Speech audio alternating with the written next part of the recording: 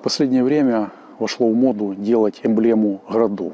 В связи с этим первый вопрос, который возникает, а что нужно изображать на этой эмблеме? Какие-то прошлые заслуги, э, которые приписывают этому населенному пункту, или будущее устремления?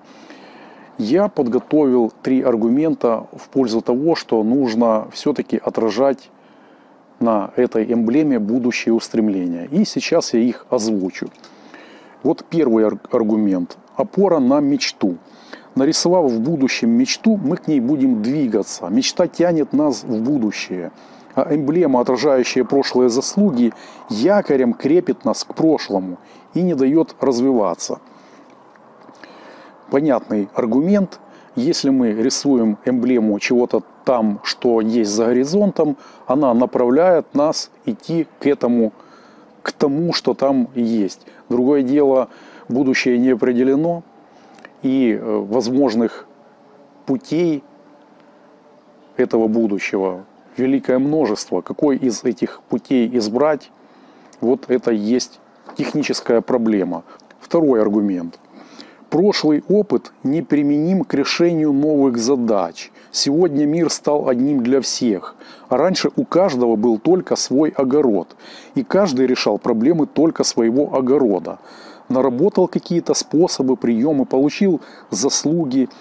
Но огородными приемами и былыми заслугами нельзя решить проблемы всего мира.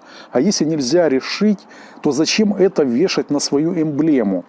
То есть эмблема это не просто картинка, это отражение какой-то идеи, какой-то мысли. Э, хорошо бы, если бы эта картинка отражала ту мысль, как нам нужно решать проблемы сегодняшнего дня, а не прошлого дня. Третий аргумент. Изменяемая эмблема для себя, а не для дяди – мы все пытаемся делать эмблему для кого-то, для какого-то заморского туриста, которому наша земля – проходной двор. И сделать железобетонную пошлую эмблему на три века вперед. Давайте делать не для дяди, а для себя.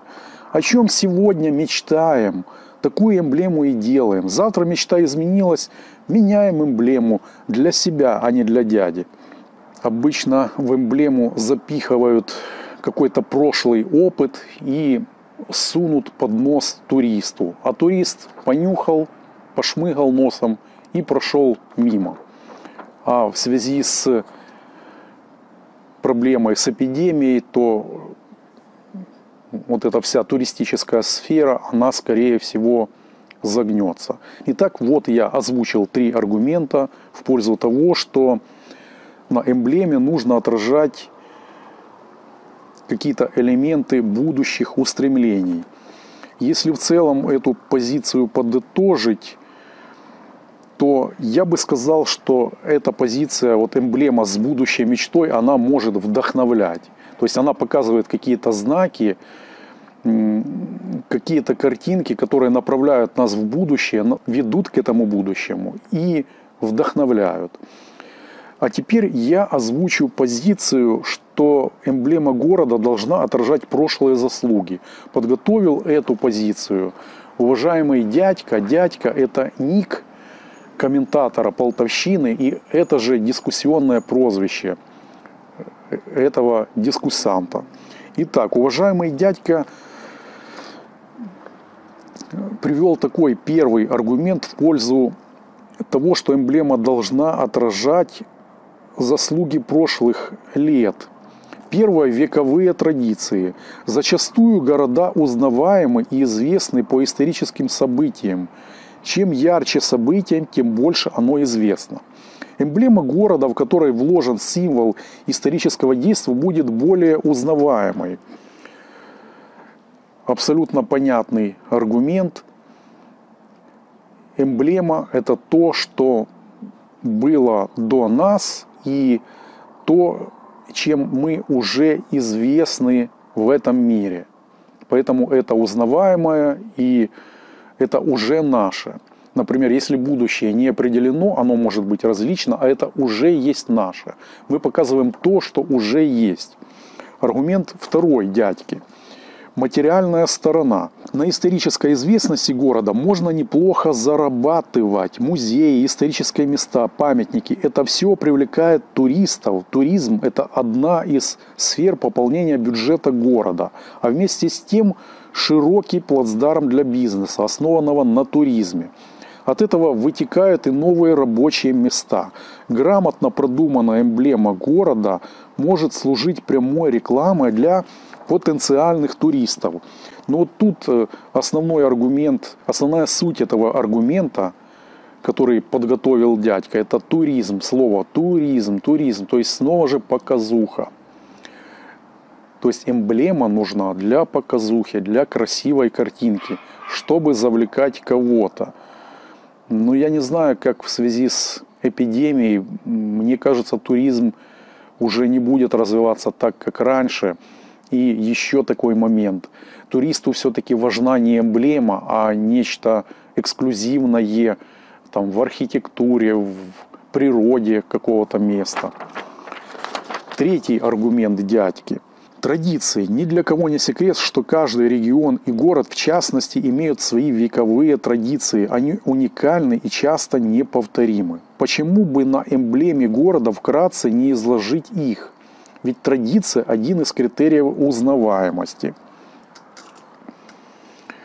Да, традиция – это то, что отличает людей одной местности от другой. И то есть это то, что есть в нас, и то, чем мы отличаемся от других, ну, скажем так, очень даже понятный и логичный аргумент.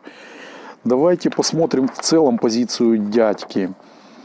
Позиция это отражает ту точку зрения, что мы на эмблеме должны отразить то, чем мы уже являемся.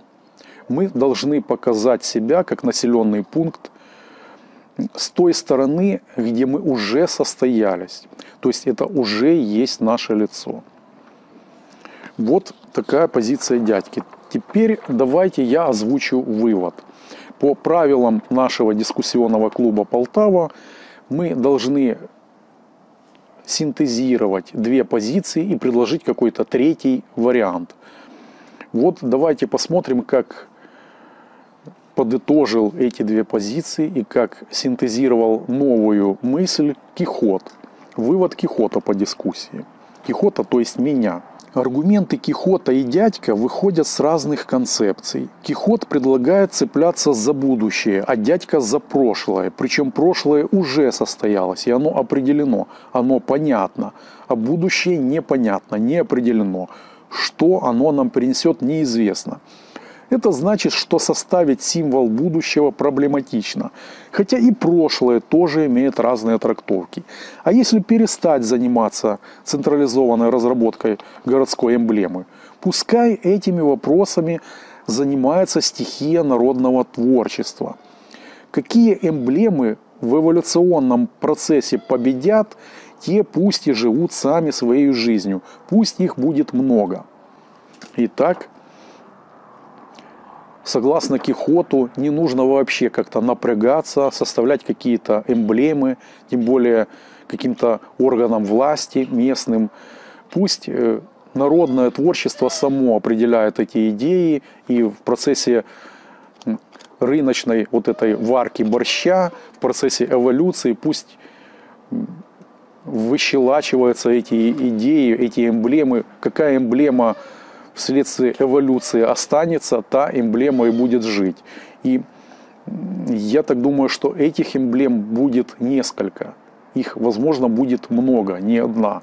И эта эмблема не та, что утверждена бумажкой какого-то государственного органа. А теперь посмотрим, как синтезировал две позиции дядька, какой у него вывод. Что пишет дядька? Эмблема города – это некий символ узнаваемости. Грамотно разработанная эмблема может привлечь туристов, что благополучно отразится на финансовой составляющей города. В то же время эмблема, отражающая прошлое событие, не может показать нынешние стремления, современный вектор развития, который тоже может быть довольно любопытным для гостей. По моему мнению, дискуссия показала – что идеальная эмблема должна комбинировать в себе как узнаваемые исторические события, так и нынешний вектор развития города. То есть дядька просто взял и прибавил одну позицию к другой. Давайте в одной эмблеме и прошлое, и будущее отразим. Тоже как бы решение вопроса, другое дело, как мы определим будущее. Если будущее не, не определено и разных сценариев будущего много. А что думаете вы по этим позициям? Можете проголосовать по ссылке, которая будет под этим видео и прокомментировать, как бы высказать свою позицию по этому вопросу. Кстати, предлагаю подписываться на наш канал дискуссионного клуба Полтава. На этом все. Всем спасибо за внимание. С вами был Кихот, организатор дискуссионного клуба Полтава. Это то есть я. И, кстати, Кихот – это мое дискуссионное прозвище.